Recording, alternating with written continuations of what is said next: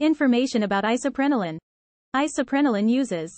Isoprenaline is used in the treatment of cardiac arrest. How isoprenaline works.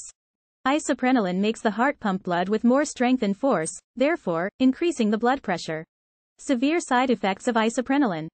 Palpitations, headache, high blood pressure, tremors, breathlessness, blurred vision, nausea, nervousness, dizziness, tachycardia, angina, Stokes-Adams attacks, seizure, pulmonary edema, hypotension, low blood pressure, ventricular arrhythmia, tachyarrhythmia, flushing of skin, sweating, weakness, pale skin. Expert advice for isoprenaline. It is given into the vein as a drip by a healthcare professional. Regular monitoring of heart rate, urine flow, blood sugar level, and blood pressure is required while taking isoprenaline. Inform your doctor if you have a history of diabetes, thyroid disease, and heart disease. Inform your doctor if you are pregnant, planning pregnancy or breastfeeding.